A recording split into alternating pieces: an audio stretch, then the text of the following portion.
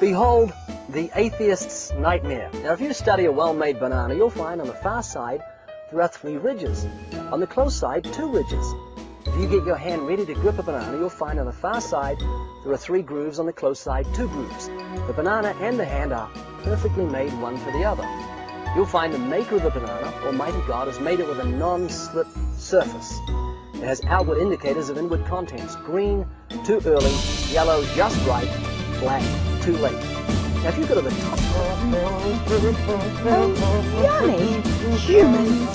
I love the tab on the top that holds all the drink inside. Mm.